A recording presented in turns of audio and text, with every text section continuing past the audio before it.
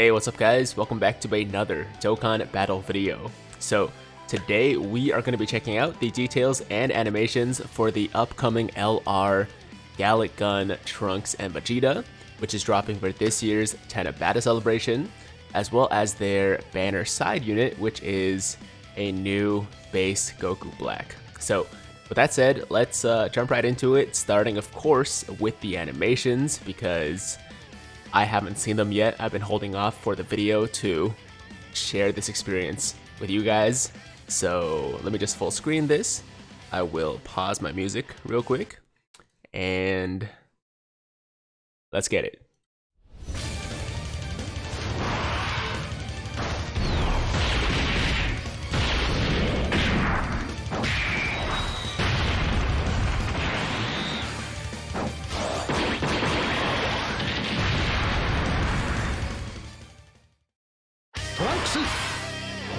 この先を見ろ。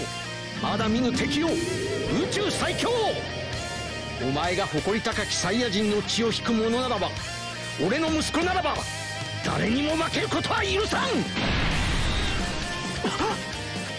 俺超えてみせます。目の前の敵も父さんも。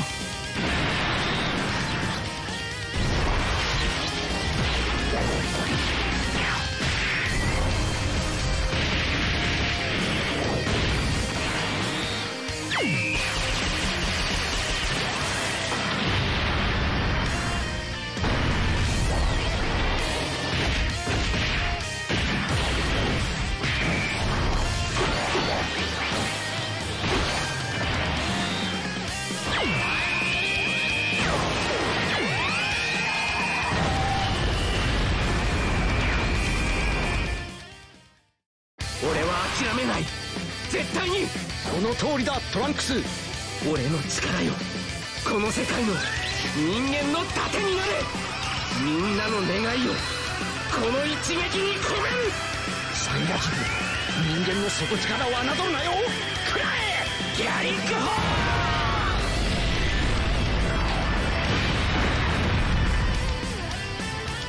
トランクスやったな。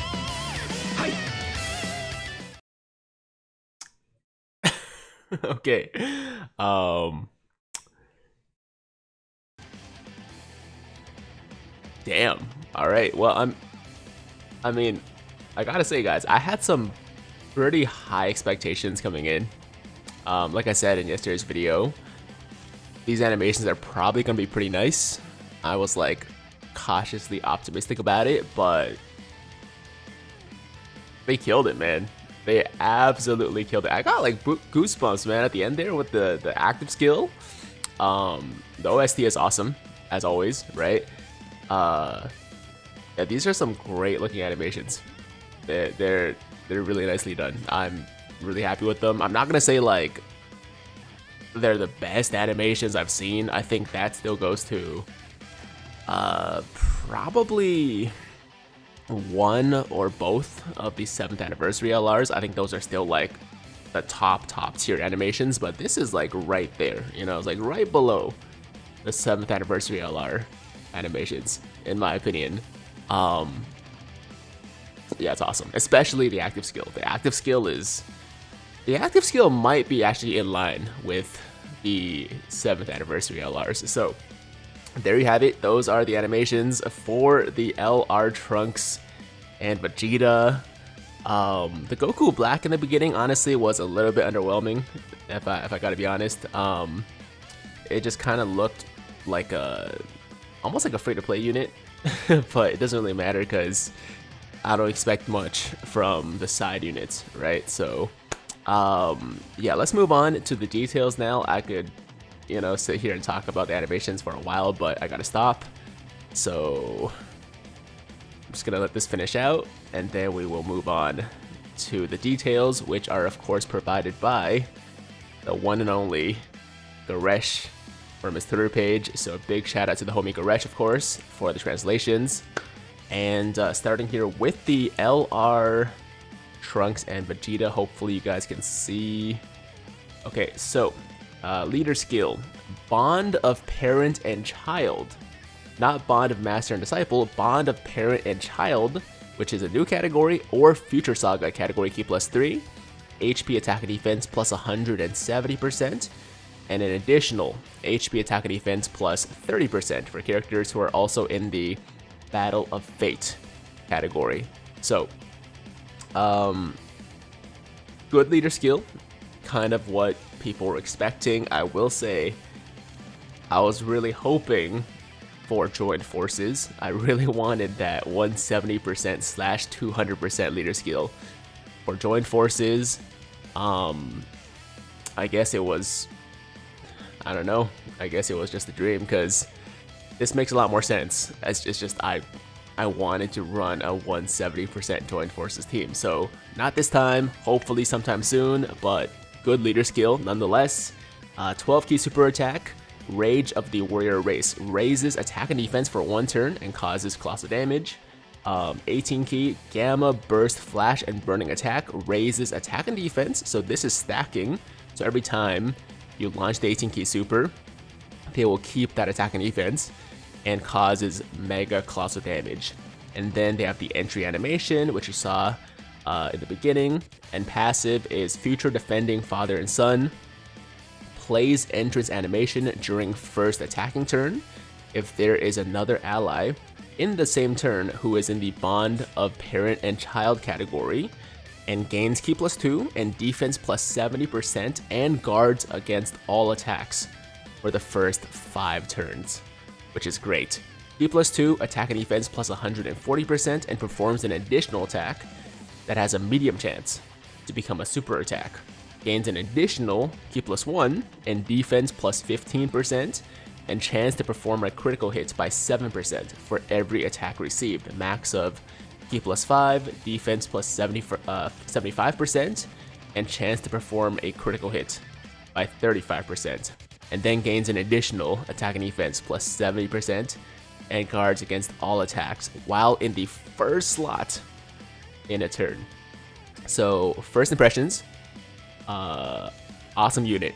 Awesome unit, especially defensively. I mean, it's not something that we see too often. I mean, we have been seeing it more these days, but still not as much as I would like. A really good slot 1 defender, guys.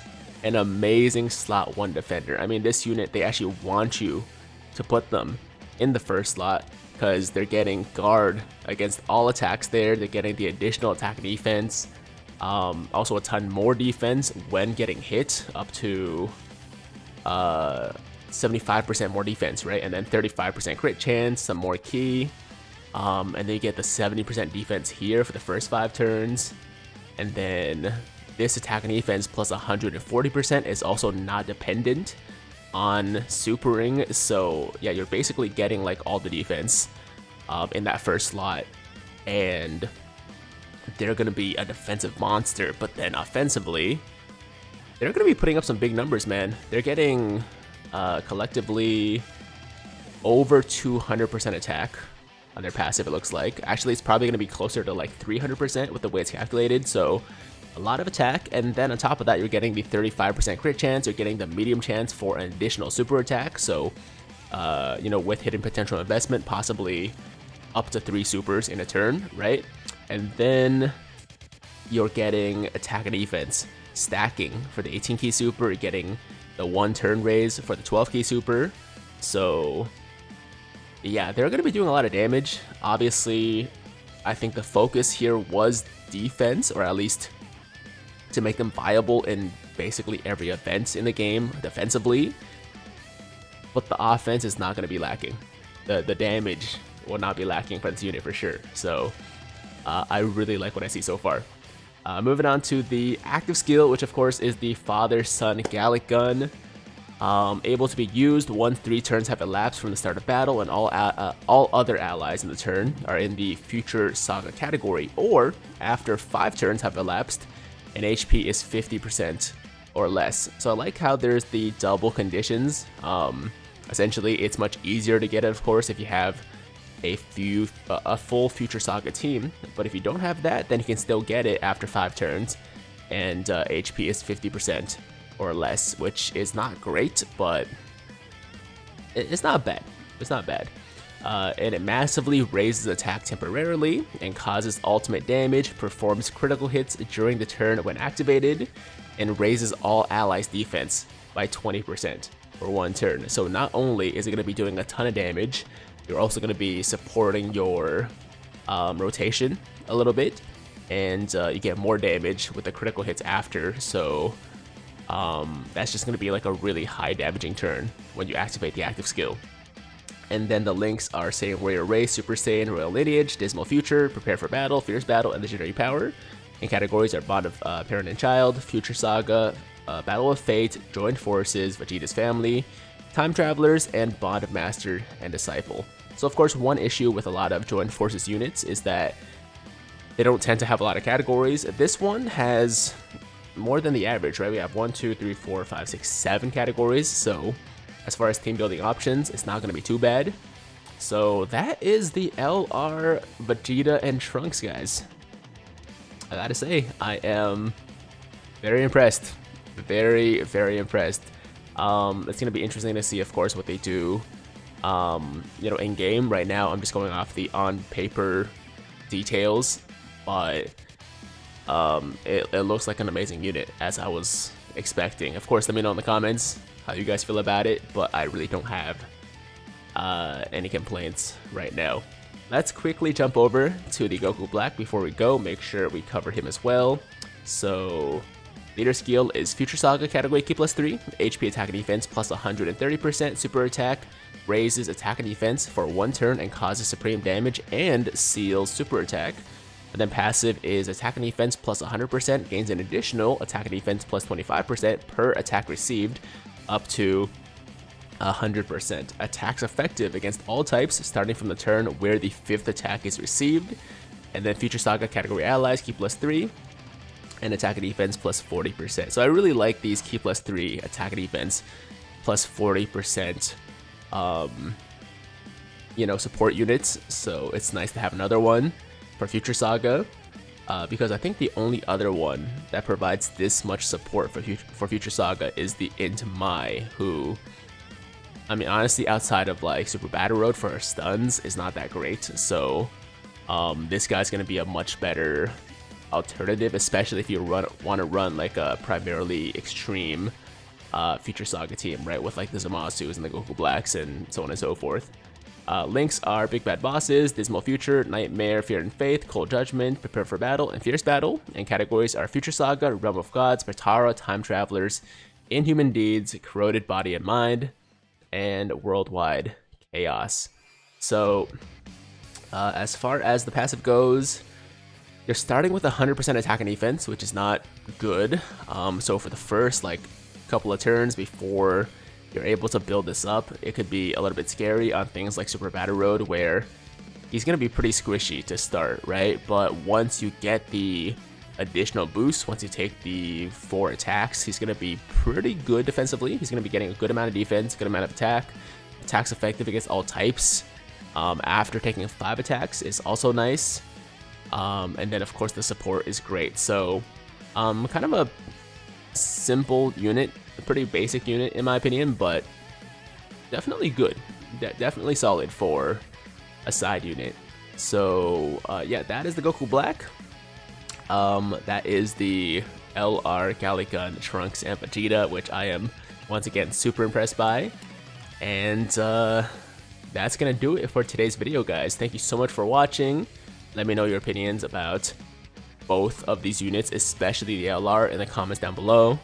And uh, hope you guys are excited for the Tanabata celebration on JP. Of course, for my global global players, we're looking forward to the anniversary, which is starting in just over a week. So, lots of exciting stuff happening on both sides of the game right now. And uh, yeah, that's all I gotta say, guys. Thank you so much for watching once again. As always, if you liked today's video, then make sure to like the damn video sub to the channel if you're new, hit that notification bell so that YouTube knows you want to stay up to date with all my latest content. And until next time, have an awesome, awesome day. I'm Tiger with Tiger Uppercut Media, signing out.